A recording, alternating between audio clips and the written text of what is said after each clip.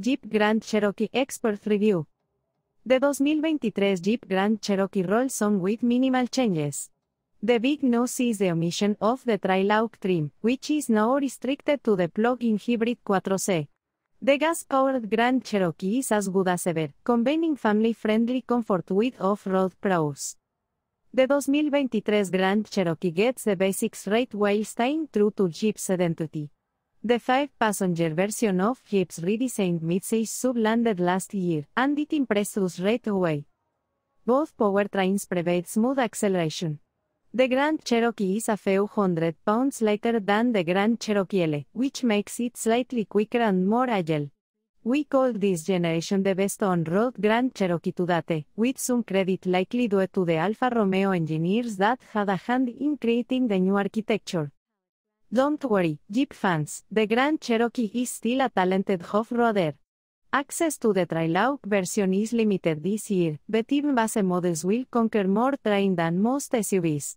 Inside the cabin, fit and finish are impressive. Cockpit design is cohesive, and tech features are competitive for the class. So what's not to like?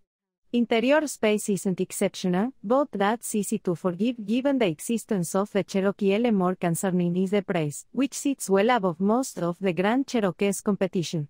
All-wheel drive isn't standard, either, which further dents the value proposition. We thought it will slow down beers. The Grand Cherokee still offers a unique combination of comfort and all-terrain capability. Performance and fuel economy. Chevron. The 2023 Grand Cherokee is available with two engines, both of which are hitched to an 8-speed automatic transmission. De base 3.6 liter V6 makes 293 HP and 260 lb-ft of torque, which is a healthy power output for the class. Rear-wheel drive is standard, and a basic all-wheel drive system is optional. Fuel economy starts at 1926 mpg city diagonal Wii. Overland, Summit, and Summit Reserve trims have the option of upgrading to a 5.7 liter V8 cranking out 357 HP and 390 lb-ft. The V8 is only available with one of Jeep's formidable 4WD systems, and fuel economy sinks to 1422 mpg. The V8 is the best choice for towing with a maximum capacity of 7200 pounds. Choosing a Grand Cherokee. The Grand Cherokee family has added a new member, leaving bears with many decisions to be made. The first choice is body style. The longer Grand Cherokee L comes with a third row and extra space, but the shorter 5-seat body is more agile and better for off-roading.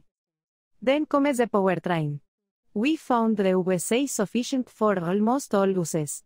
If off-road performance is a priority, look for Quadra-Trac 2 or Quadra-Drive 2 4WD systems.